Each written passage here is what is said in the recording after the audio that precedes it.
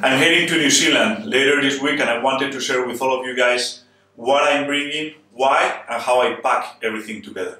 We'll be hunting the southern island of New Zealand and the target will be to hunt for chamois and tahr. We will backpack in on tahr country, hunt there for three or four days and then probably get back to camp, relocate, and maybe get dropped off by a helicopter for three or four days to hunt chamois. It's gonna be a mountain hunt, so weather is gonna be unpredictable, but the temperature range that we are expecting is gonna be 10, 15 degrees during the day and uh, down to minus 10 degrees during the night. So let's get to the gear. What I will be bringing on the first day of the hunt. Peloton briefs as an underwear. Regarding the base layer, I have chose merino the antibacterial properties of merino are unbeatable, and we are planning to be hunting for three, four, five days in a row. I'm choos choosing the 145 50 and 145 zip-off bottoms. Regarding outer layer, I will be using the Chinook pant combined with the merino zip-off bottoms. On top of my base layer, mid layer, I will be taking the Peloton 240. By construction, it's wind resistant but it doesn't have any membrane. So it's going to be a layer that is going to be super breathable, but at the same time protect you for the wind. And this is always my first choice when you have to hike and when we are we're with our packs and we need to be active and moving and gaining a lot of altitude. That's always my choice. Regarding boots, I'm taking the Scarpa Rebel K. The reason of going with a semi-rigid boot is that it provides stiffness. So when you are in really steep and technical terrain, it will give you extra support and the boot will not be flexing at every step. So you can put the tips and hike with less energy. Two pair of socks. I really like using always two socks, one very thin as a base layer and, a, and another one mid as an outer layer. I have never got any blisters using two socks. Yukon Gaiters, a must. Super breathable membrane, but completely waterproof. So it takes all the moisture from the grass. It will allow you to cross a river, walk in the snow. So must on these kind of hunts. KUIU cap, Merino neck gaiter as glove systems. I will be taking the tight gloves and also some Peloton 200 gloves that, that, I have cut the fingers to be able to shoot with my bow with a handheld release. And I have also separated my quiver adapter for the belt from Total Pip, a Leatherman multi-tool that I will bring always with my KUIU climbing belt. Finally, with me that day, I will be taking the Bino harness with the optics and also with the rangefinder on. Everything has already been separated and I will be packing all the gear and clothing on the bow case. That way, the bow case arrives, I will have enough gear to be able to jump and, and hunt. And if the bow case doesn't arrive, I wouldn't have the bow either, so I will not be able to hunt anyways. The optics is the only thing that I would be carrying on my hand luggage because it's a very expensive part of the equipment and heavy, so that way I remove some of the weight from the backpacks. New Zealand, it's very important that you clean properly the boots. There is in customs control an agricultural inspection and they check for any invasive plants. So it's very important to declare them in customs, to bring them separated and be sure to have them properly cleaned before arriving to New Zealand. Second part, what I will be taking on my backpack for this hunt.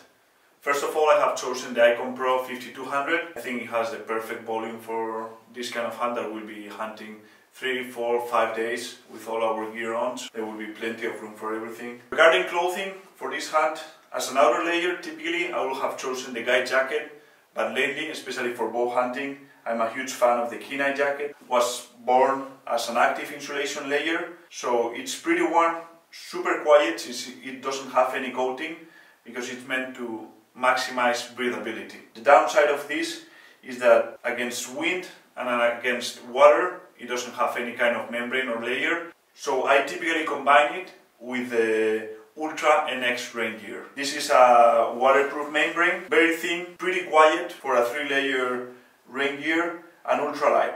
So I combine these two and still the two pieces are lighter than the guide jacket and I think it, gives me a wider range of weather conditions in the mountains. As an insulation, I, I have the Kenai, but I will also, since it can be pretty cold at night, I really like the Super Down and I will be taking the Super Down Pro because it might be super cold during the night. I don't like being cold in camp or even hiking and glassing. So I will be bringing that piece and always with me also the Super Down Ultra pant. We'll bring this pant inside one of our dry bags to be sure that no matter what happens, the pants will stay dry.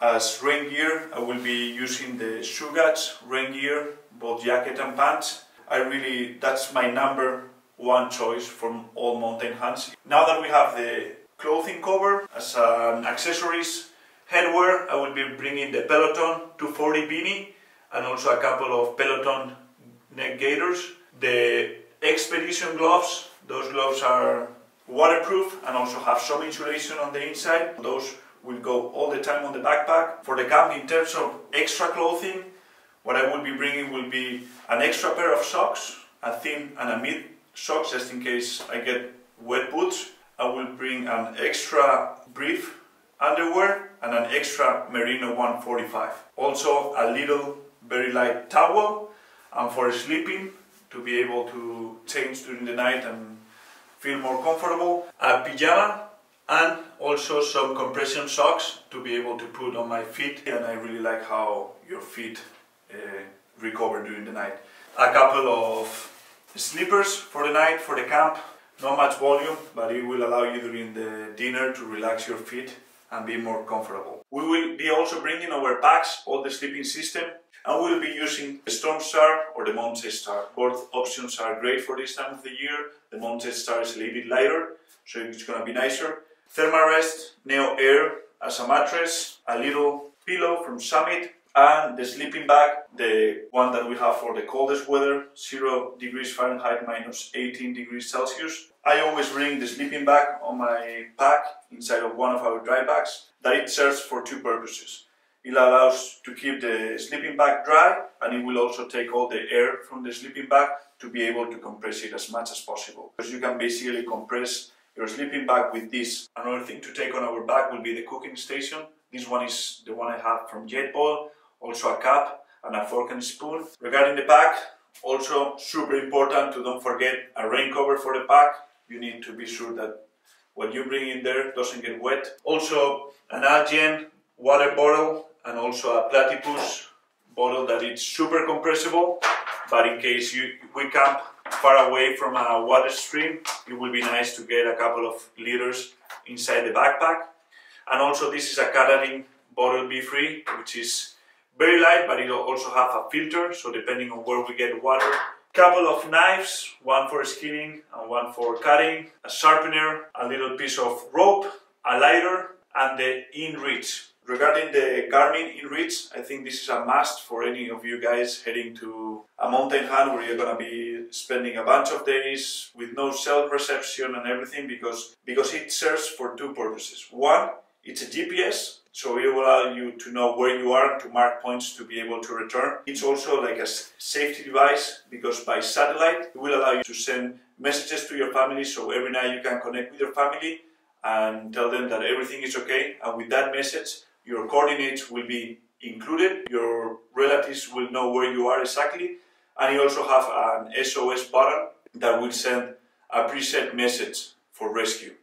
And the difference with any other rescue devices that may be out there is that you can talk with the safety people to be able to let them know what's your situation. So be sure to have one of these. I also have a global rescue plan just in case something happens. Two headlamps with new batteries on and also a camp lamp. It's super light and it's nicer when you are having dinner several people to have a light, just not the headlamp. Game bags and a couple of other bags to organize all our gear. I typically take for these hunts an S2by trekking pole ice axe. I think it's same weight when you get used to hiking with it. It's as comfortable as a stick, but it, it, allows you to do more things like flattening the ground of your camp, grabbing two things. It can be also used as an ice axe. And I also put a, a bunch of duct tape around it. And finally, my emergency kit with all the medicines inside that I will take on the backpack. All the pills will be staying camp and I will take a smaller kit uh, with me which will be like the first aid emergency kit. Optics, I will be taking the Swaro ATX and also a Vanguard tripod which is like 1.7 kilos and also for glassing, the glassing pad from from Kuiu. As bow equipment, I'm bringing always an extra release, a set of Allen wrenches, and a few packages of extra broadheads. And now that I have the pack full with everything that I will be needing, I will be putting the whole pack inside the Taku 5500. That way everything is protected. Bow equipment.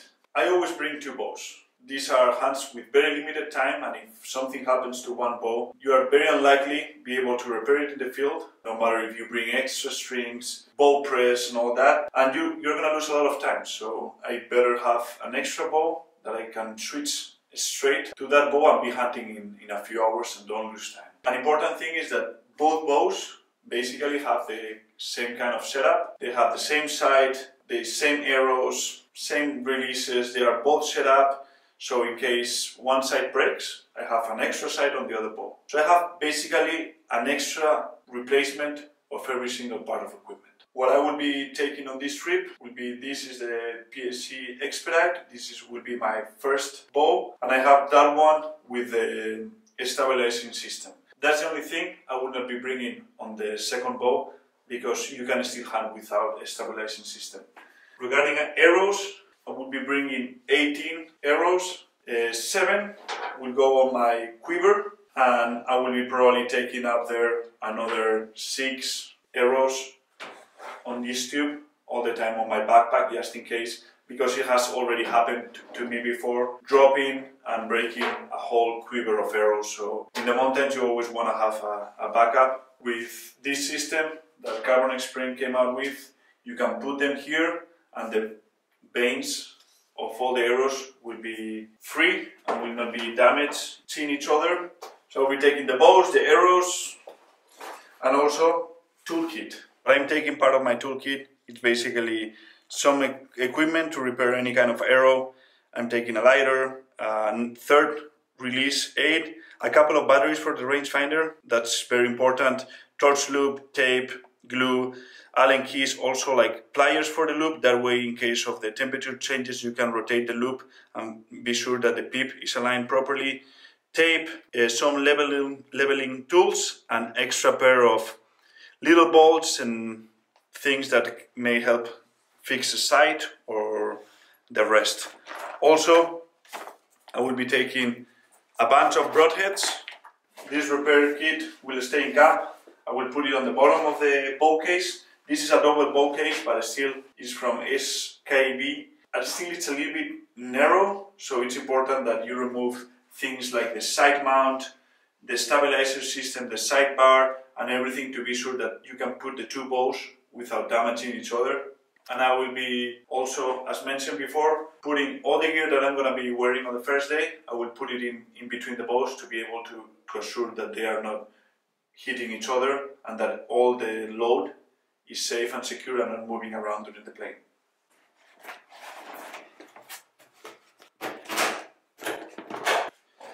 Now you close the back and that's it. No, just in case, oh maybe I need this, I'm gonna put this also, forget it, you don't need anything else. So close it and forget about it. Thanks for watching guys.